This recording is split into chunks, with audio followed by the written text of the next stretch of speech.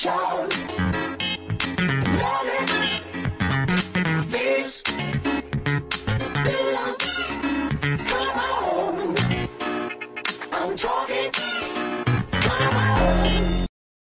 bonjour tout le monde, c'est Max Payne. Bienvenue pour ce troisième épisode de Comment bien débuter sur StarCraft 2. Euh, Donc, euh, bah, comme on a pu le voir dans le deuxième épisode, nous avons fait, euh, nous avons fait tout ce qui était infanterie et véhicules légers.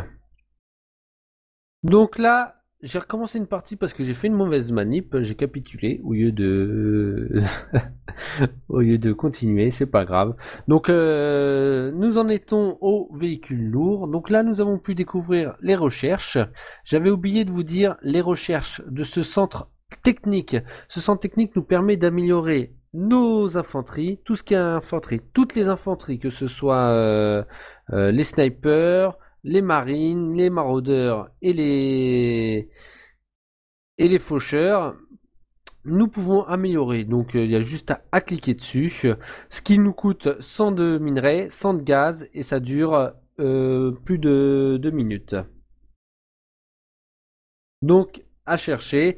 Nous pouvons aussi améliorer tout ce qui est les structures, les bâtiments, améliorer le blindage des bâtiments, améliorer les structures euh, néocées au manque de, de la capacité de contenance des bunkers et euh, ajouter une de portée, donc nous améliore euh, la portée de bah, de tout ça.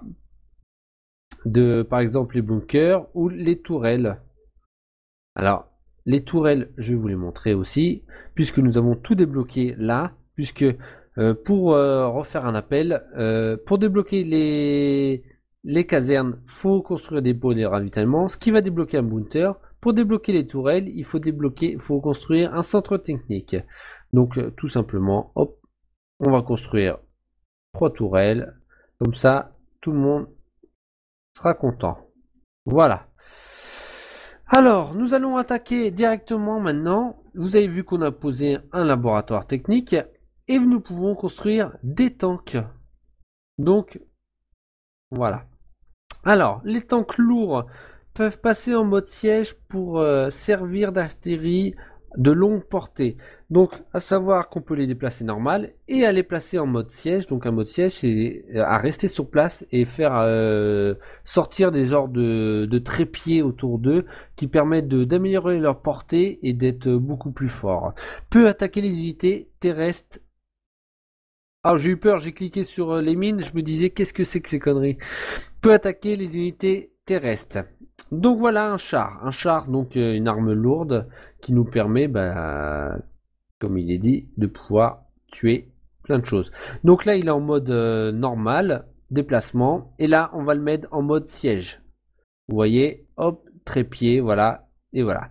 Donc ce qui nous permet de voir sa portée. La portée du, du tank, vous la voyez avec les petits traits là, vous voyez les petits traits blancs là, ici. Donc tout ce qui est dans cette zone là, euh, bah va mourir parce que il va le tuer. Allez, je vais mettre ma mine là, comme tout à l'heure. On, va. Ce qui est marrant, vous avez vu un petit, euh, un petit phare. Hop, allez. Voilà. Donc là, on a construit ça. Maintenant, on veut débloquer construction, construction, construire des nettoyeurs et des tors. Donc là, nous arrivons à, comme vous pouvez le voir, on est à 39, donc 41 sur euh, 43. Donc, bah, nous allons construire des dépôts, des dépôts de ravitaillement. Alors, euh, vous verrez plus tard, euh, à force, vous les construirez au fur et à mesure. euh, vous vous rendrez compte euh, com- comment ça se passe. Voilà. Hop. Alors là, nous avons pu voir que tout a été fait et nos nos ghosts vont être invisibles en appuyant sur camouflage. Voilà.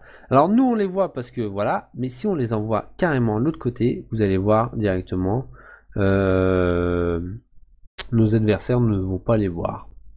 Donc là, hop, V. Ah, bah voilà, vous avez vu la mine carrément, bing, elle est sortie, nickel, comme je voulais. Hop, je vais les brancher là, voilà. Euh, donc là, nous avons construit notre tank. Et là, pour construire Hop, hop, hop. Merde, il est mort, mon... c'est pas grave. Pour construire le reste, il va falloir que je construise une armurerie. Donc vous avez vu que en construisant l'usine, euh, la- l'armurerie s'est débloquée et le statioport, donc ce qui va nous permettre de construire les véhicules aériens. Donc je construis mon armurerie. Alors, ah bah dis donc, oui, il le voit par rapport à, à les Raven. Ok, d'accord, ça marche. Allez, on va le sortir.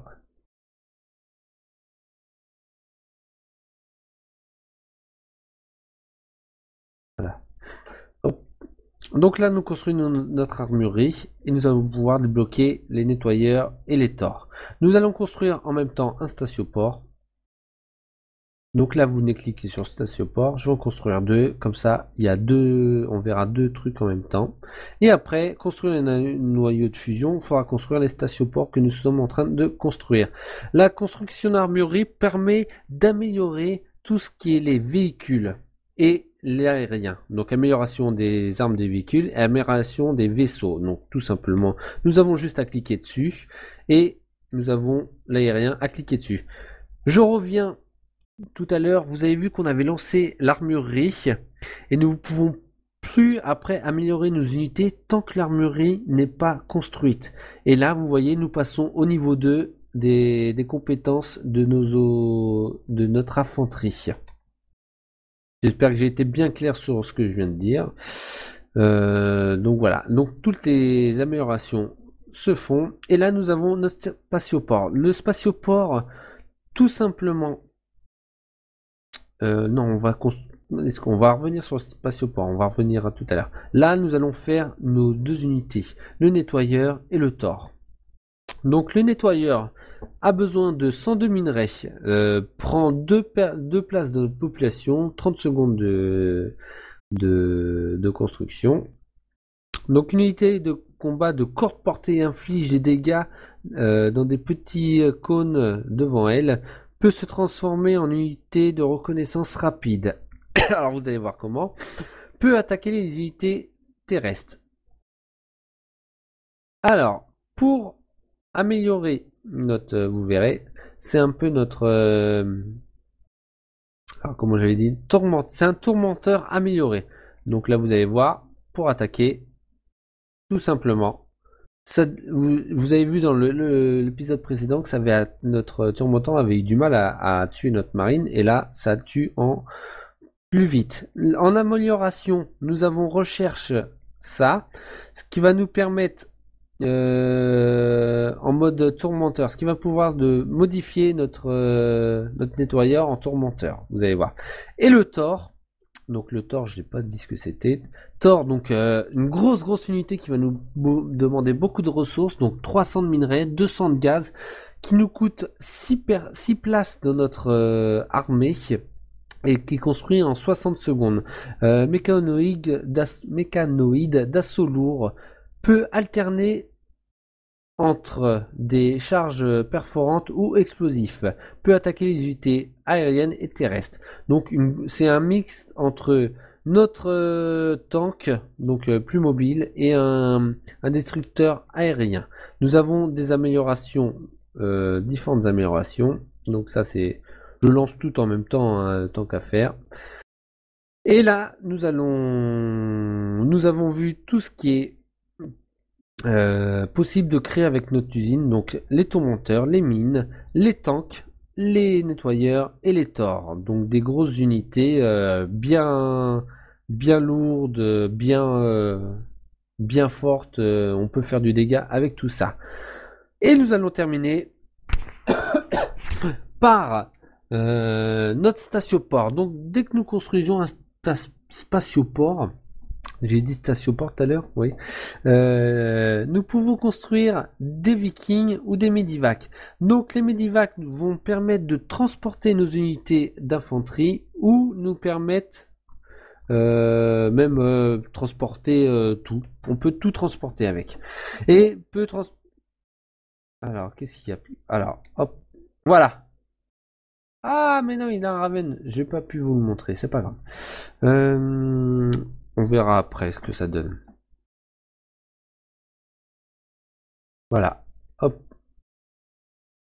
Euh, Il y a un truc que je vous ai pas dit, je vous le dirai après pour l'amélioration des bâtiments. Après, nous avons donc le Medivac, on va lancer un. Donc euh, si on regarde 100 de minerais, 100 de gaz qui nous prend deux places de population, 42 minutes. Transport aérien, soigne les unités biologiques euh, proches. Donc les unités biologiques, ce sont les marines, tout ça. Alors là, c'est la guerre. Hop, un coup de steam. Voilà.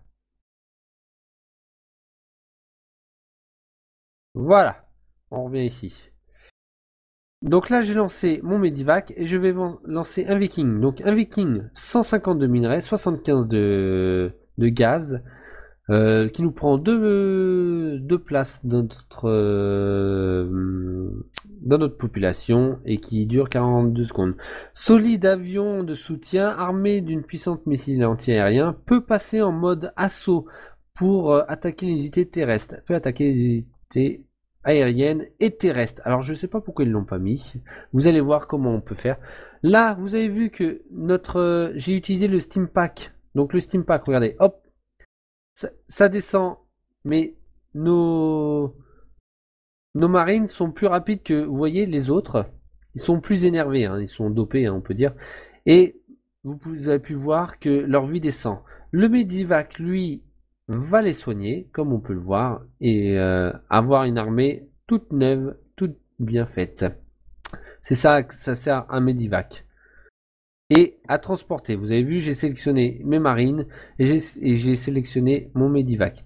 Tout simplement, vous sélectionnez votre unité et vous cliquez sur le clic droit pour venir euh, monter dans notre Medivac. Le Medivac donc peut soigner les cibles biologiques. Donc euh, nous pouvons choisir la cible. Ça sert à rien, il le fait automatiquement.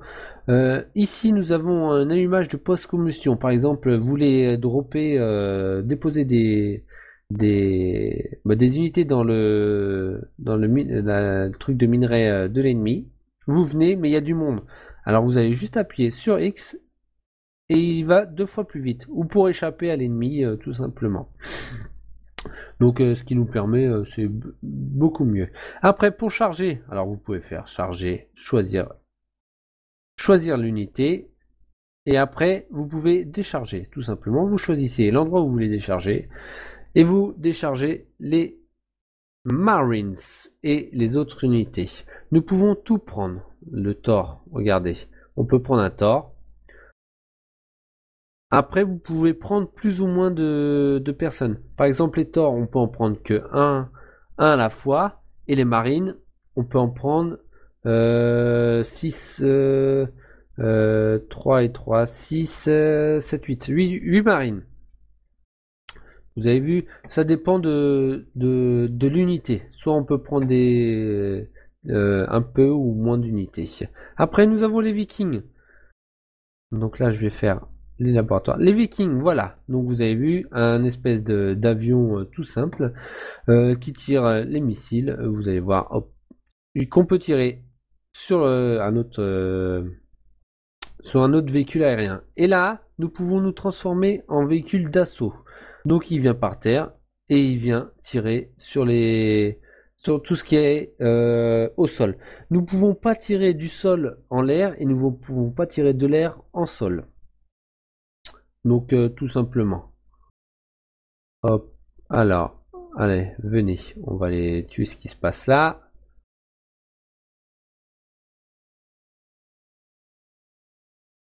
Là, on va faire un peu le ménage là parce que je pense qu'il y en a marre.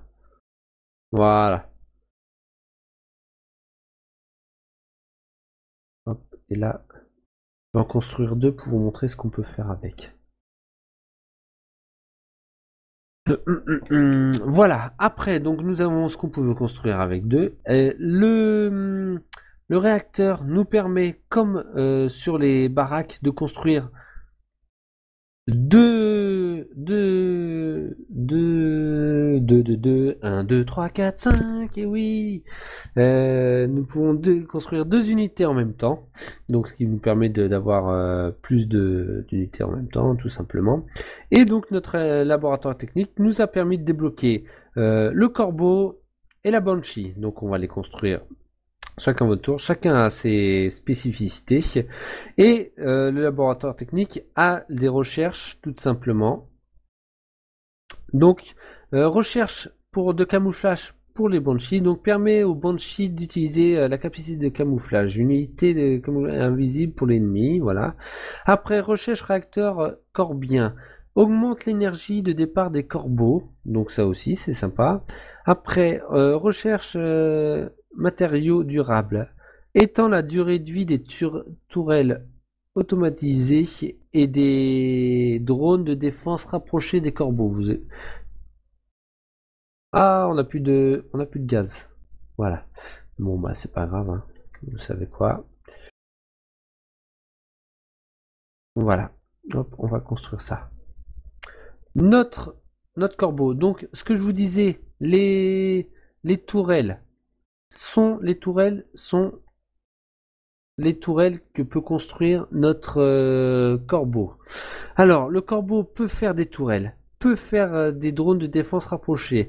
Disposi- Alors, c'est un dispositif euh, d'un laser qui intercepte les missiles et l'ennemi, inefficace contre les capacités spécialisées. Euh, disparaît après 180 secondes. Chaque tir consomme 10 points d'énergie.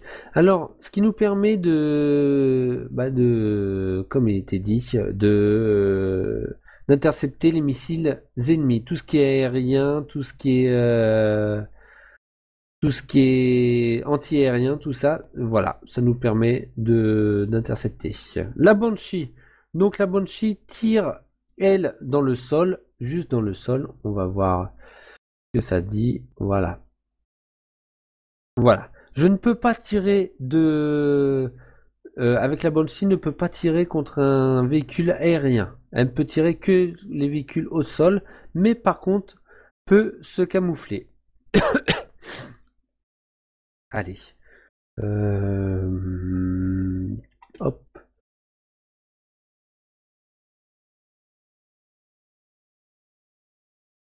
Voilà. Donc là, vous voyez, tous nos, nos il n'y a plus de minerais, il n'y a plus rien. Donc, on construit ici. Et après, nous allons construire un dernier truc très important. Euh, donc là, nous avons pu voir tout ça. On va aller faire un tour un peu, voir ce qui se passe.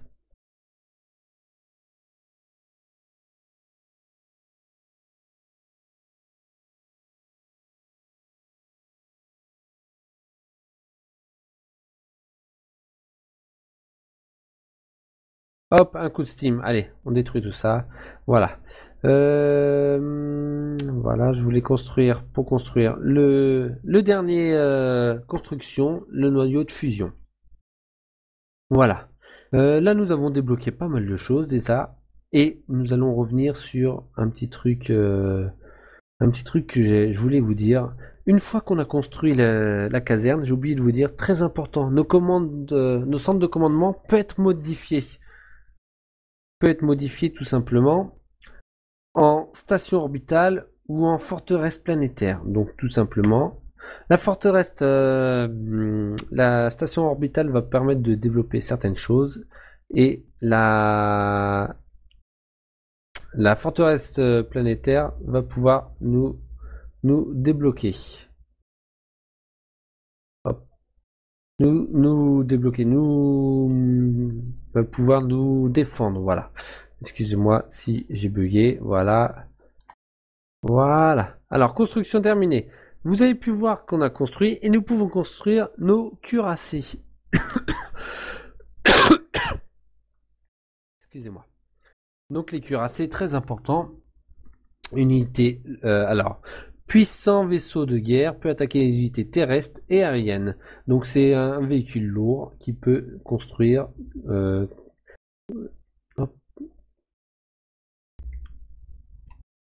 Voilà.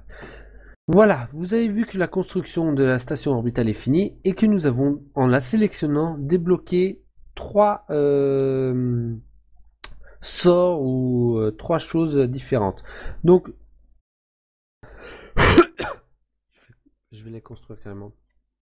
Donc là, si on regarde bien, nous pouvons invoquer une mule. Une mule qui va nous permettre de récolter du minerai, mais qui va être beaucoup plus efficace que les, que les VCS.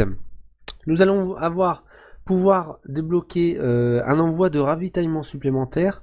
Euh, ça veut dire que sur le dépôt, nous, là où par exemple on est bloqué à 88 et nous avons euh, besoin immédiatement de, de plus de, de, marines ou d'unités importantes et en cliquant dessus, nous pouvons débloquer comme écrit là, nous étions à 116 et là nous sommes passés à 124. Débloquer euh, tout de suite notre, euh, notre espèce de, bah, de, blocage d'unité, comme ça, euh, tout simplement. Et nous avons un scan, scan ce qui va nous permettre de, parce qu'avec le brouillard de guerre, nous ne pouvons pas voir ce qui se passe. Donc nous sélectionnons, nous, voulons, nous visons là où nous voulons voir, et nous voyons tout ce qui se passe pendant un petit moment. Vous voyez, hein, on voit ce qui se passe directement chez l'ennemi. Alors, on va faire nos petits cuirassés qui vont durer 90 secondes. voilà. Et donc les mules, on va les faire apparaître ici. Voilà. On va les faire apparaître dans notre champ de minerais qui sont envoyés. Et vous voyez, les mules nous rapportent deux fois plus que les VCS. Donc voilà, là, là je pense qu'on a, on a fait le tour. Voilà le l'espèce de, de, bouclier. Euh...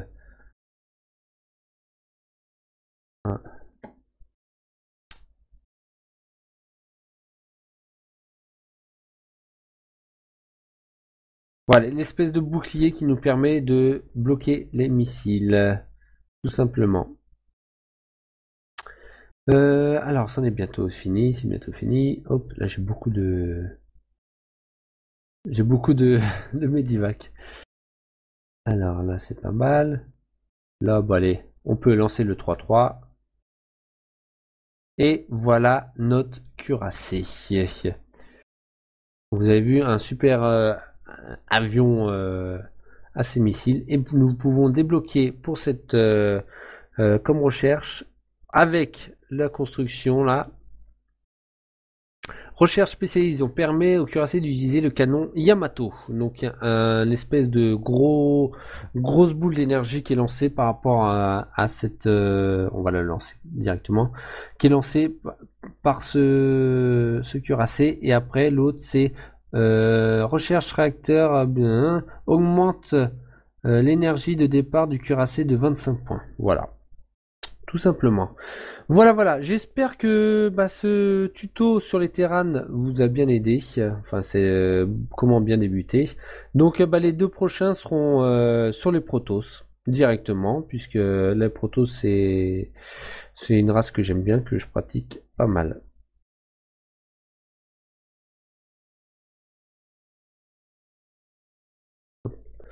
Et voilà, donc euh, bah, je vous souhaite une très bonne journée à tous. Je vous dis à plus, bye bye et portez-vous bien. Allez, au revoir.